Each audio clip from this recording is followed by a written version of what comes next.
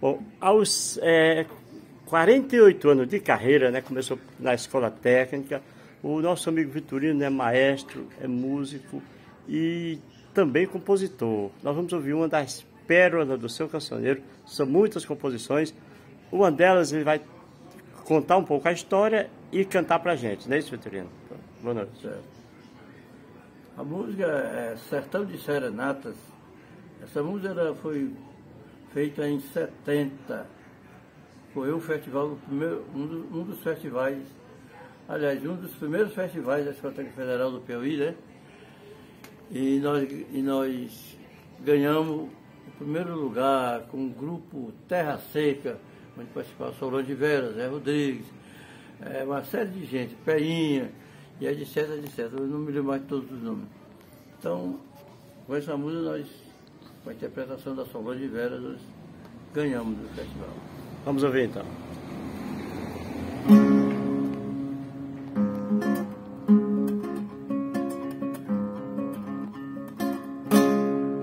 Ó oh, meu sertão de serenatas, do luar da cor de prata, onde o caboclo delira ouvindo as mais lindas cascatas.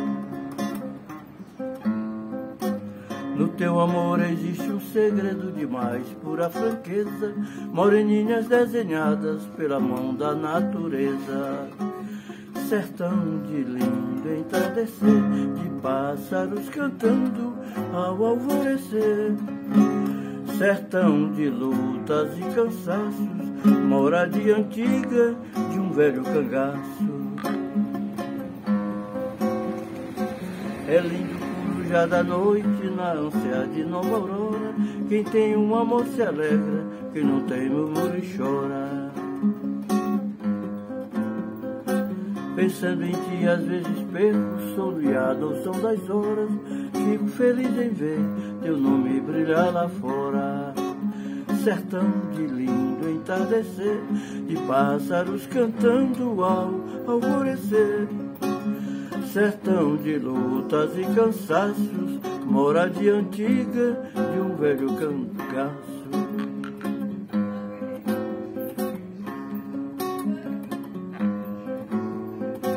O meu sertão de serenatas do luar, da cor de prata, onde o caboclo delira ouvindo mais lindas cascatas. No teu amor existe um segredo demais, pura franqueza, moreninhas desenhadas pela mão da natureza. Sertão de lindo entardecer, de pássaros cantando ao alvorecer. Sertão de lutas e cansaços, moradia antiga de um velho cangaço. Cantando os meus versos, espero com toda a sinceridade a gente esquecer o passado, que no fundo é só saudade. Mas quando a saudade aperta, não tenho dia nem hora, ponho a viola no peito, canto um verso e vou embora. Sertão de lindo entardecer, e pássaros cantando ao alvorecer sertão de lutas e cansaços, mora de antiga de um velho cangaço. Muito bem. Campeão do festival, né, rapaz? Maravilha. Vitorino, ao longo da sua jornada, né, você está agora perto da sua aposentadoria, mas você tem um histórico de muito trabalho, inclusive formando bandas em vários municípios, né?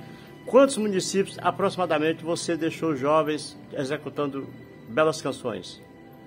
Aí eu vou começar pelo primeiro município, foi em Monsenhor Gil, justamente com o professor Teotônio, nós criamos uma banda Zeca Rosendo, onde surgiu grandes músicos, hoje que está na banda da Prefeitura de Teresina, como na Orquestra Sinfônica, né? Vários alunos nossos, mesmo do Teotônio, como tem, nós temos o Beto, temos o Hélio, são irmãos, um toca percussão, outro toca é, fagote, né? Aí temos nós outros mais, tem a Verinha na 16 de agosto, também que é de Múcio Gil, tem o, tem o Marcelo na Orquestra Sinfônica também toca trompete, né? E são vários, né? Você teve, inclusive, no norte do estado, Piripiri. Quer dizer, dá para você ter uma ideia de quantos municípios você trabalhou nesse? Cinco municípios, né? eu fiz banda de municípios municípios, né? Como é que você está vendo hoje o incentivo por parte dos governantes para dar sequência a esse trabalho que é tão maravilhoso? Como é que eu vou dar sequência? É, como é que você vê o incentivo dos governantes? Que a gente percebe que esse trabalho parece que está chegando ao fim, né? não está tendo uma continuidade. É, realmente, quando teve início esse, esse, esse, esse, trabalho de formações de banda no estado do Piauí, né? teve um incentivo até razoável, muito grande pelas autoridades. É, se trata de prefeitos, de governadores. O pessoal Ferraz nessa época, ele era muito muito interessado por esse tipo de, de, de trabalho, né, de cultura musical, né, começando pela 16 de agosto, né, mas de, de uns tempos para cá já houve algum desinteresse também, né, a partir para o lado partir dos prefeitos para, para a política, né, para o lado político, misturaram cultura com política, aí não, come, aí não deu mais certo. Prestou, né? E a última banda que eu fiz foi a de regeneração do estado do Piauí, cidade de regeneração, que estou há 20 anos lá, né? Mas assim mesmo o meu trabalho foi, fui retirado do problema político, né? Mas continua um aluno meu dirigindo a bandinha lá. Muito, boa a banda, né? Maravilha. Fiz também uma banda de música em Piripiri, seis anos, quem me levou para lá foi o João Cláudio Moreno, né? Meu grande amigo, né? Ele que me levou para lá para fazer essa banda de música. Eu fiz a banda de música, passei seis anos em Piripiri, muito boa banda, ainda hoje existe ainda. Você, você plantou a semente e as árvores estão germinando por aí estão afora, né? germinando. né? Meu amigo, parabéns pelo seu trabalho e sucesso, viu?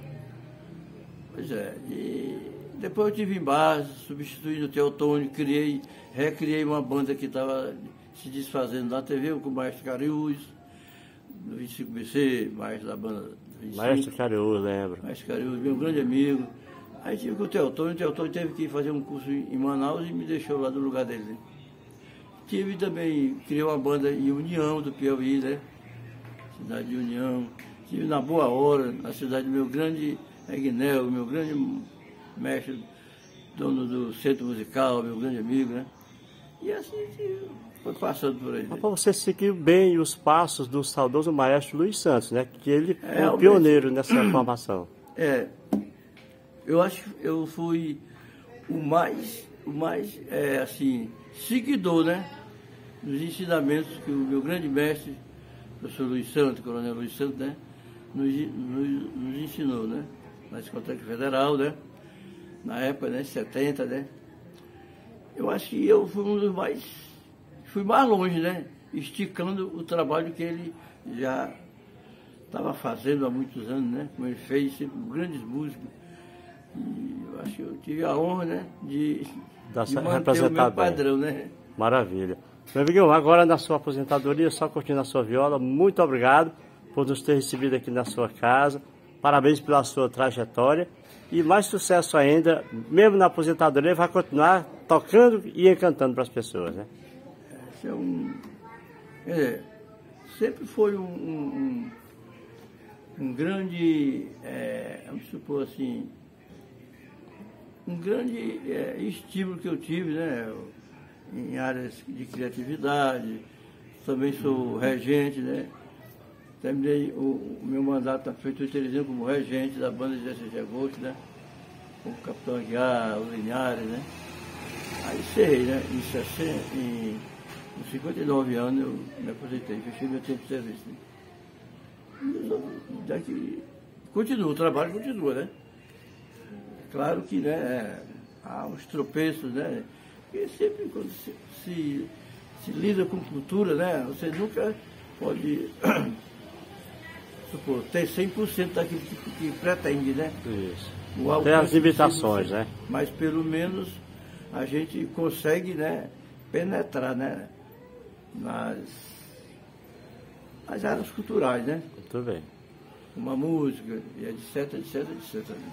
Ô, meu amigão, sucesso, Deus abençoe sempre, beleza? Bom. Nós conversamos aí com o maestro Vitorino, maestro, regente, músico, compositor, cantor e uma série de outras coisas com uma longa trajetória na área artística musical do estado do Piauí.